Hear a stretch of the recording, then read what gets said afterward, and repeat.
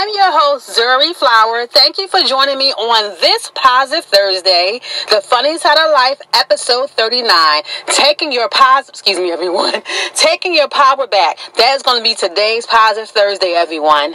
Topic.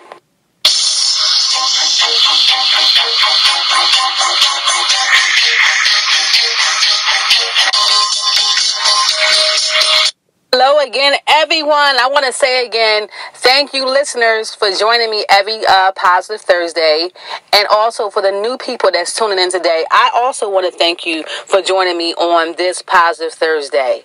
Have there been anything in your life that you lost or made a mistake of doing that made you feel like giving up on your life or just criticizing yourself on past mistakes? You have made. I can truly relate to each one of you listeners. Back in 2016, I sold my beautiful home that I owned for eight years. It had a beautiful in ground pool, four bedrooms, four baths. And I know y'all probably wondering, that sounds like that was a beautiful home, and why in the hell did I sell it? During that time, I felt like it was the best decision I made. It was a lot to keep up with. And the main reason why I purchased the home, it was so my kids could have a better life and go to a good school.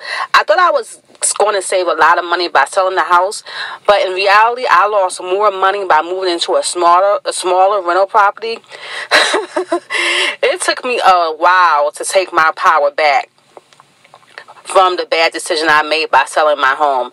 I have a question to ask each one of you listeners. When you think about taking your power back, where is one of the biggest mistakes you made in a situation you had to go through? And then towards the end, you got your power back by building your self esteem back up and getting self respect from people who hurted you. Taking your power back is more than just wondering why me, like you're a victim. But in reality,